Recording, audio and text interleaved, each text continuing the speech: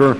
I rise today in strong support of both joint resolutions that will block the Obama administration's so-called Clean Power Plan, a regulation I had that was never authorized by Congress that will hurt our economy, lower our standard of living, and have absolutely no impact on the climate.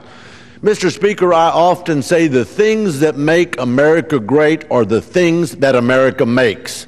Now, how do we do that? With an affordable, dependable, reliable energy supply. According to the Electric Reliability Council of Texas, which operates my state's electric grid, energy cost would increase for Texans by up to 16% due to this clean power plan. This will have a disproportionate impact on the poor and those on fixed incomes. And sadly, most of those folks don't even see it coming.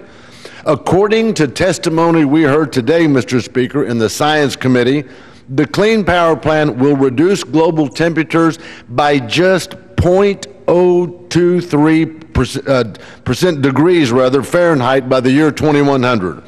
Furthermore, the EPA's claimed public health benefits from this regulation are due solely due to re- reductions in air pollutants already regulated by the agency under existing standards.